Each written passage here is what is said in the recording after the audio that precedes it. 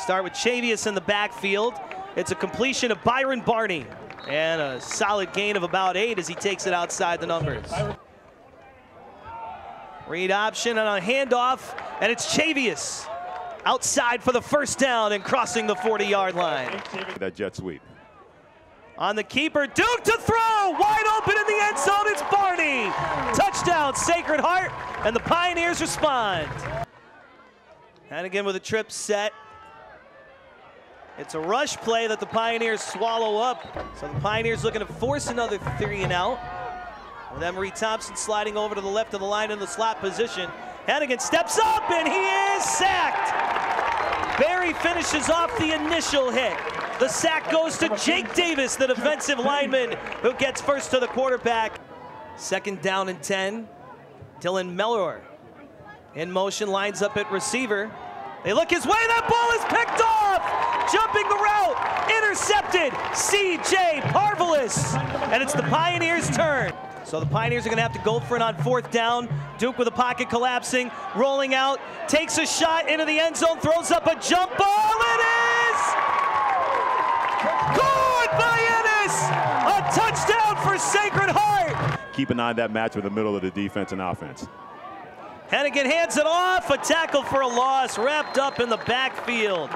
Brought down Rashad Cooper by the defensive back who penetrated Kamal Whitaker. Great point, even though there's 9.40 to play in the second quarter, it is a big drive because what your defense just did for Sacred Heart. Duke in trouble, escapes, getting creative. Kevin Duke getting out of all sorts of trouble. 22 yard completion to O'Neal. Meacham dancing his way through tackles and then down the sideline, dragged down from behind. From the 20 yard line, trips to the left. Ennis, the lone wide receiver at the bottom of your screen. Duke over the middle, hits it open Meacham inside the five. Meacham gets him the lead with a touchdown.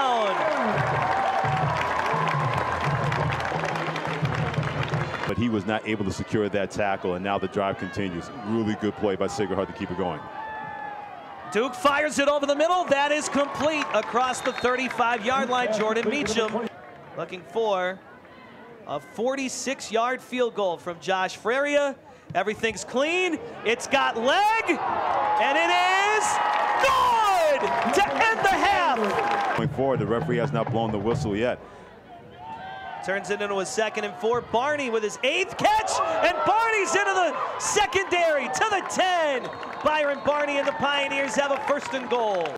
Pioneers have had an extra point block today, but of course, the 46 yard field goal at the end of the half gives them the lead. That one hooks inside the upright and is good and make it a 26 to 14 lead for Sacred Heart. Third down and eight.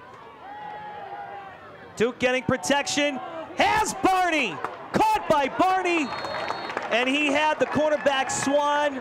Duke 32 for 46 for 295 yards, a career day. He throws, and it's caught in front of the Pioneers sideline by R.J. Trimble Edwards. First down, Pioneers. Big Green won the turnover battle, and they win in the fourth.